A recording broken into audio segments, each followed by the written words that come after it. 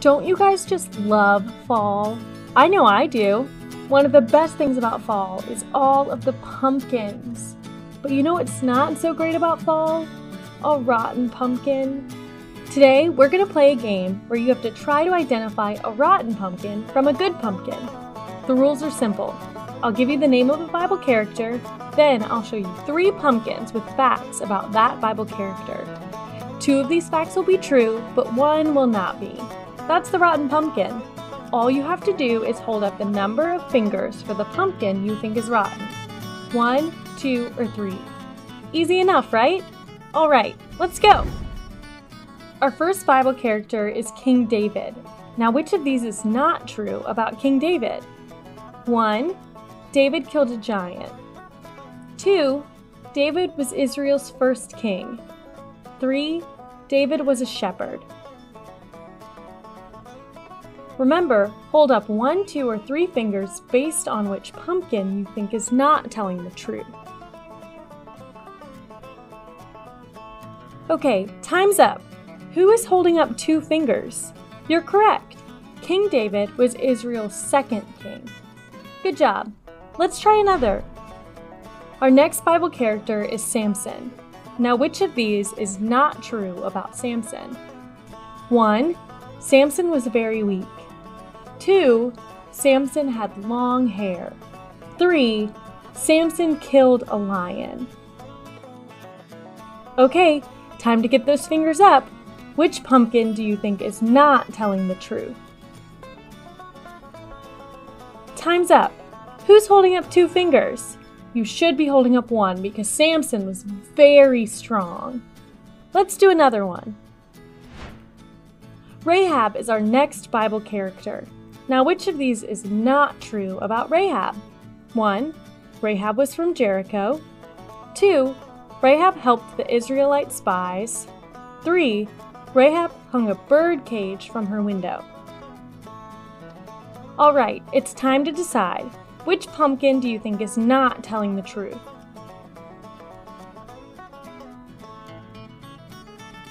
Time's up. Who is holding up three fingers? You are correct. Rahab actually tied a scarlet rope in her window. Let's try another. Peter is our next Bible character. Now, which of these is not true about Peter? 1. Peter walked on water. 2. Peter lied about knowing Jesus. 3.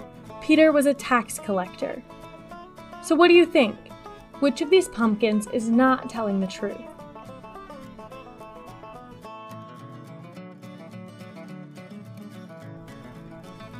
Up. Who is holding up three fingers? You're correct. Peter was actually a fisherman. Good job. Welcome, Kidland kids. This is Miss Jen and Miss Andre. We are so glad you are here today. We are in our newest series on the parables. Yeah, parables are stories Jesus told to help us better understand how we should live. Yes, and this series we have some help to share that with you.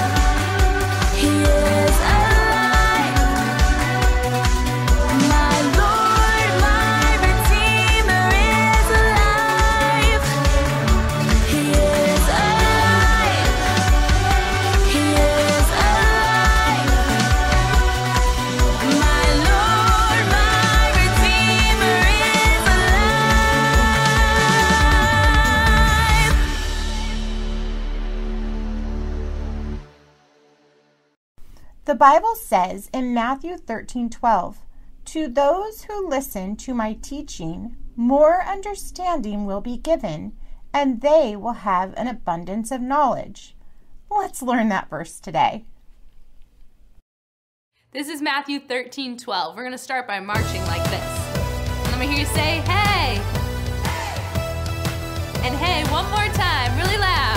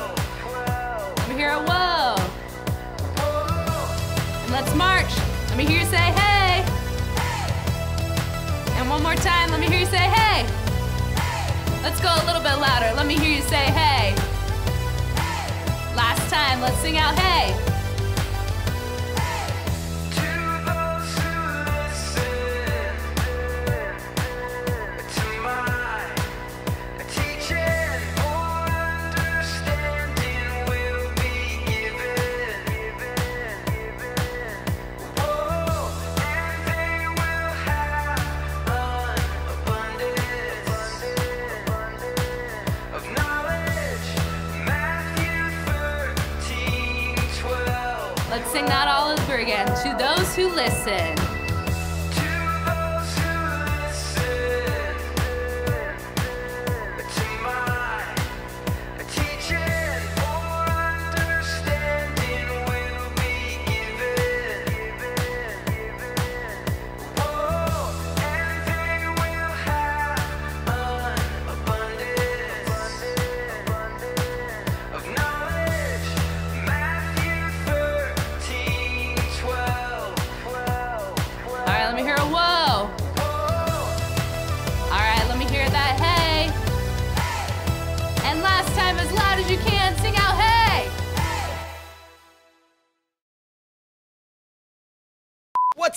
Guys? I'm Tyler, and welcome to the first episode of Rewind. Rewind is a show where I scour the web looking for the most awesomest viral videos, and I show them to you, my loyal viewers. So let's get started.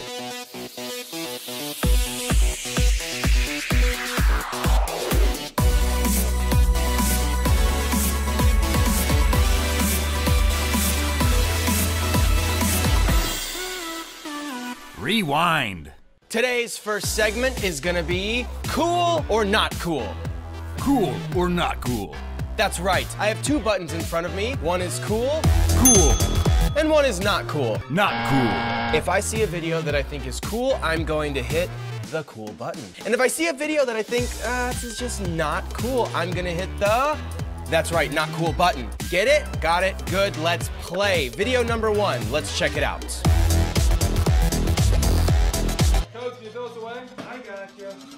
Whoa! The kick into the trash can, very cool. Ooh! Oh, Call of Duty throw. Oh, it went in. Take me. Pancake. Okay, right off the bat, any video involving pancakes is gonna be very cool in my book. So I'm gonna go ahead and vote this video cool. Cool. Okay, so that leaves the score to start off with cool one, not cool zero. Let's watch our next video.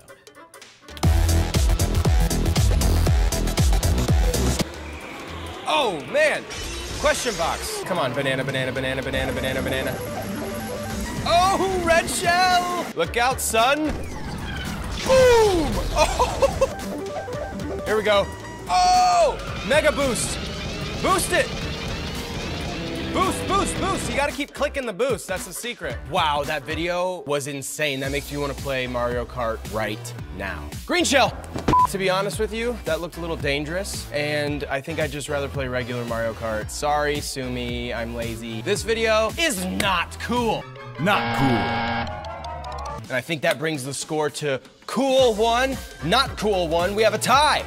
So we need to check out our next video. Okay, we're on a train. Whoa! He just jumped through the door! So did the camera guy. Just making some coffee. Making coffee? What is happening right now? Is he gonna drink that? He's floating. He's floating. He's floating.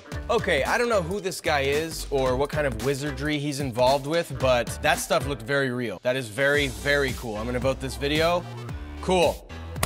Cool. Which brings the score to cool two, not cool one. Let's check out our next video.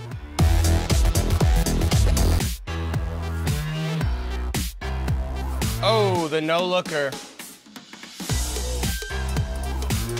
It landed. Four at once. Okay. Guys, you know what? To be honest, I don't I don't know about this video. Bottle flipping is pretty old and it's not that impressive anymore. I mean, not cool. Not cool. Which then brings the score to a tie. We have cool two, not cool also two. This next video will determine the winner. So let's check it out.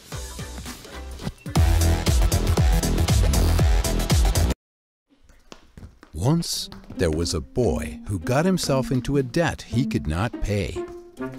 You might say that what he did was an accident, or you could say it was careless.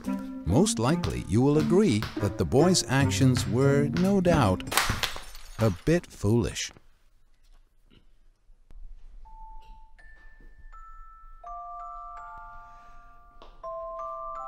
The boy paced and fretted, fretted and paced, trying to come up with a plan. Before he could think of a way to keep himself out of trouble, the front door opened and his father walked in. Hey Luke, how's your day, little man? He was so shocked, he was nearly frozen where he stood. Finally, the boy decided to tell his father the truth. When the boy had finished his story, his father knelt before him, no doubt ready to announce a harsh punishment. Except, punishment is not what the father gave him. Because his father loved him, he forgave him and wiped away the enormous debt. So the boy went outside to play and continue with his life. After a little while, the boy decided to retire back to his bedroom. There he found a ghastly sight. It was his little sister, drawing messy scribble murals all over his favorite posters. You might think the boy would show patience and kindness to his little sister. After all, his father had just forgiven him of a much larger debt. Sadly, that is not at all how the boy reacted. Whatever mercy his father had shown him, it did not make its way on to his sibling. The boy's father was disturbed to learn that the boy had been so cruel to his little sister. And all this after the father had shown him mercy for an even greater crime. The father reminded the boy of the enormous debt he had forgiven.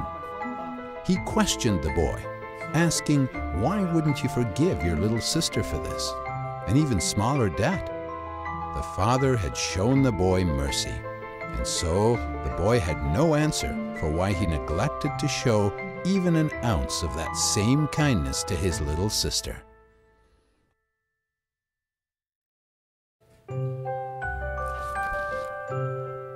Oh no. Oh. Of course. Parents always show up at the worst time.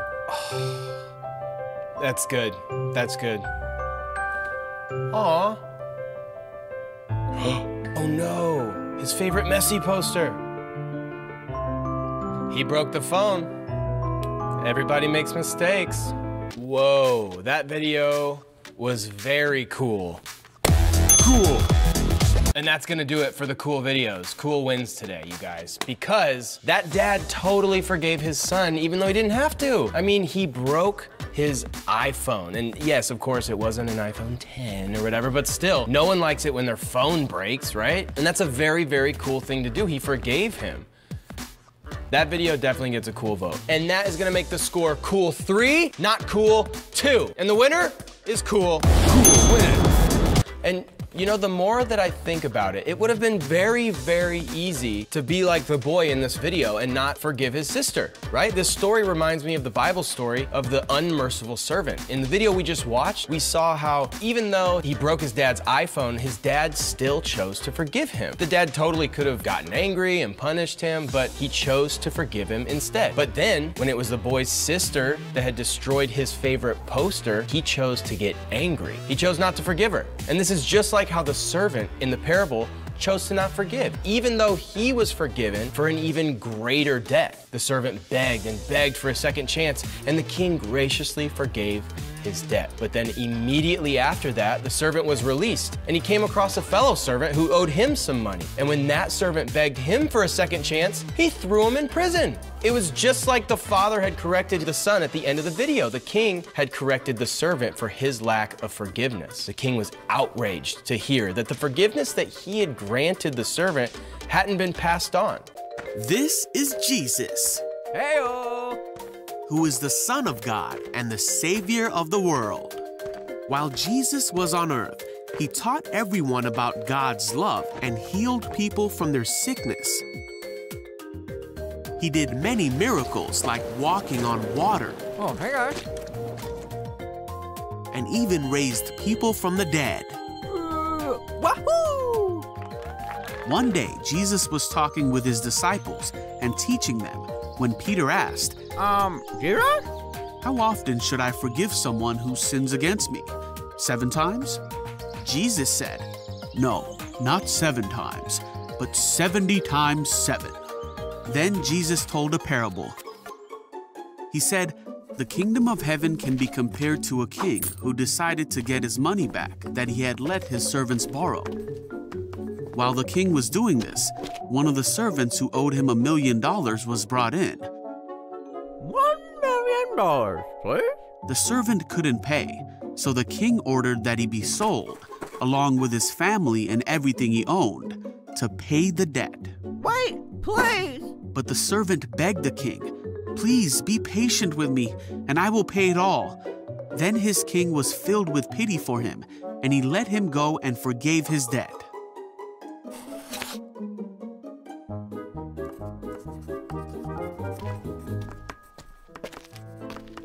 But when the man left the king, he went to a fellow servant who owed him a few thousand dollars. Uh, hi? Come here, you. He grabbed him and demanded that he pay him back immediately. Oh, wait, please. His fellow servant begged for a little more time. He said, Be patient with me, and I will pay it. No. But the servant wouldn't wait. He had the man arrested and put in prison until the debt could be paid in full. When some of the other servants saw this, they were very upset. They went to the king and told him everything that had happened. Then the king called in the man he had forgiven and said, You evil servant, I forgave you that tremendous debt because you pleaded with me. Shouldn't you have mercy on your fellow servant, just as I had mercy on you? Then the angry king sent the man to prison to be punished until he had paid all that he owed. Jesus then said, That's what my heavenly Father will do to you if you refuse to forgive your brothers and sisters from your heart.